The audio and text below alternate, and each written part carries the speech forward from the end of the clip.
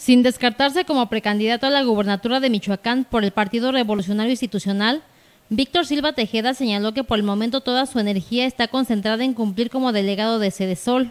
Yo mi calentamiento lo tengo cumpliendo los programas de Sol y es lo único que está en mi escenario en este momento, cumplir con el presidente de la República. En entrevista, Silva Tejeda dijo no estar de acuerdo con los futurismos, por lo que de momento está enfocado en cumplir la encomienda que le fue dada por el presidente de la República. No se valen los futurismos en este momento porque Michoacán requiere de que todos cumplamos nuestra tarea todos los días y en este momento el delegado de Sedesol está entregado totalmente a cumplir las instrucciones del presidente y a desarrollar mi trabajo como delegado. El delegado de Sedesol fue entrevistado en el marco de la entrega de recursos para la creación de 16 estancias infantiles en municipios de alta y muy alta marginación.